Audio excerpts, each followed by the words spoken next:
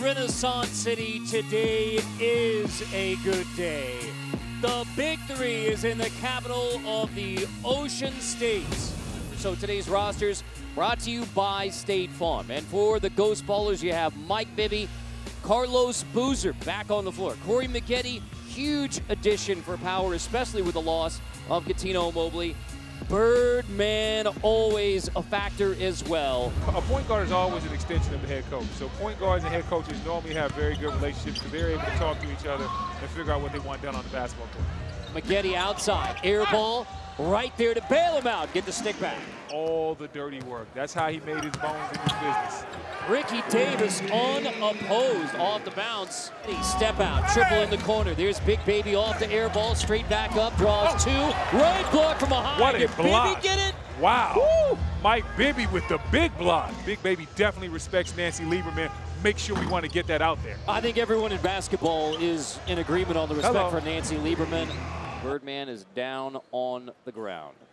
Yeah, with that left left Sure. leg somewhere in there, you see Birdman grab it. Now quickly back up, but with a significant limp, and that is very disappointing to see. When we get a dead ball, we might need to see the replay of the shot that Mike Taylor just took because he thought it was going in. So he shoots the ball and turns around and starts talking to Cuttino, but the shot didn't fall. Corey Maggette has the last four points for power. Nine in the game, and a huge answer for a four-point shot. Shot that one from deep. Withstanding the attack from Maggette and power. Scales for four, sending us to halftime.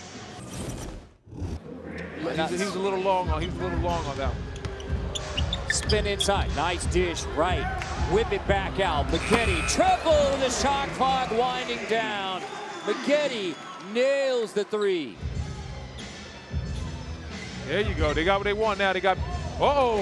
Uh-oh. Bibby pass, big Uh-oh. baby. Bibby dancing on baby. Watch out. That, that- that's not even real yoga. Yeah, this is, uh, all right. Meanwhile, back to the athletes who are balling out on the floor.